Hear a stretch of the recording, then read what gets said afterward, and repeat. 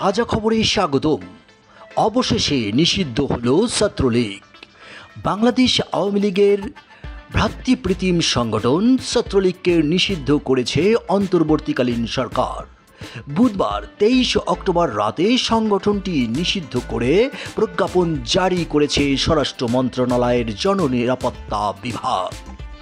প্রজ্ঞাপনে বলা হয়েছে, যেহেতু সরকার সন্ত্রাস বিরোধী আইন দুই হাজার নয়ের ধারা আঠারো এর উপধারা একে প্রদত্ত ক্ষমতা বলে বাংলাদেশ আওয়ামী লীগের ভ্রাতৃত্ব প্রীতিম সংগঠন বাংলাদেশ ছাত্রলীগকে নিষিদ্ধ ঘোষণা করিল এবং উক্ত আইনের তফসিল দুইয়ে বাংলাদেশ ছাত্রলীগ নামীয় ছাত্র সংগঠনকে নিষিদ্ধ সত্তা হিসেবে তালিকাভুক্ত করিল।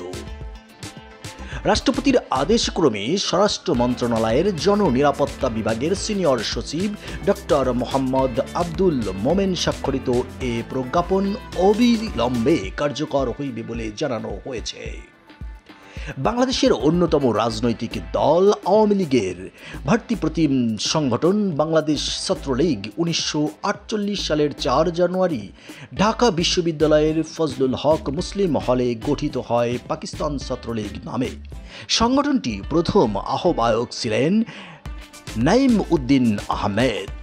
সাংগঠনিকভাবে এর কার্যক্রম শুরু করলে এর সভাপতি মনোনীত হয়? দবিরুল ইসলাম ও সাধারণ সম্পাদক মনোনীত হন খালেক নেওয়াজ খান। পরবর্তীকালে এই সংগঠনের নাম হয় বাংলাদেশ ছাত্রলীগ। বলা হয়, ছাত্রলীগই একমাত্র ছাত্র সংগঠন যে দলের হাত ধরে গঠিত হয়। বৃহত্তর রাজনৈতিক সংগঠন যেটির নাম আওয়ামী লীগ। বর্তমান জাতীয় রাজনীতির অনেক শীর্ষস্থানীয় নেতার রাজনীতিতে হাতে করি ওই ছাত্রলীগ থেকেই।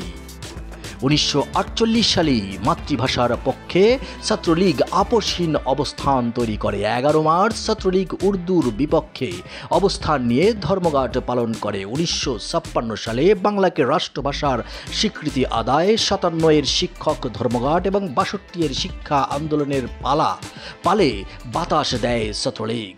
বাঙালির মুক্তির ছয় দফা হিসেবে পরিচিত ঐতিহাসিক ছয় দফা আন্দোলনে রাজপথে প্রথম সারিতে অবস্থান ছিল ছাত্রলীগের। ছাত্রলীগের নেতৃত্বেই আগরতলা ষড়যন্ত্র মামলার বিরুদ্ধে ছাত্র গণ আন্দোলন, গণ অভ্যুত্থানের রূপ নেয়। এরপর একাত্তরে শুরু হয় মুক্তিযুদ্ধ। মহান মুক্তিযুদ্ধে ছাত্রলীগের প্রায় সতেরো হাজার নেতাকর্মী শহীদ হন। উনিশশো বাহাত্তর সাল থেকে উনিশশো পঁচাত্তর কাল পূর্ব যুদ্ধ বিধ্বস্ত দেশ গঠনের সংগ্রামে ছাত্রলীগের ভূমিকা ছিল অগ্রগণ্য। সামরিক শাসনের মধ্যেও উনিশশো তিরাশি সালে শিক্ষা, আন্দোলন ও সর্বদলীয় ছাত্র ঐক্যের দশ দফা তৈরিতে নেতৃত্ব দেয় বাংলাদেশ ছাত্রলীগ। এরপর বিভিন্ন সময় নিজেদের মধ্যে দলাদলি, অন্তর্কন্দল, প্রতিপক্ষের ওপর হামলা সহ নানা কারণে সমালোচনার মুখে পড়ে ছাত্রলীগ। আর সর্বশেষ এই চব্বিশের গণ অভ্যুত্থানে ঢাকা বিশ্ববিদ্যালয়ে বৈষম্য বিরোধী ছাত্র আন্দোলন তথা সাধারণ ছাত্রদের উপর চড়াও হয় ছাত্রলীগ। আর তার প্রেক্ষিতেই বর্তমান সরকার এই সংগঠনটিকে নিষিদ্ধ করল। বন্ধুরা, তাজা খবর পেতে আমাদের চ্যানেলটি সাবস্ক্রাইব করুন। ধন্যবাদ।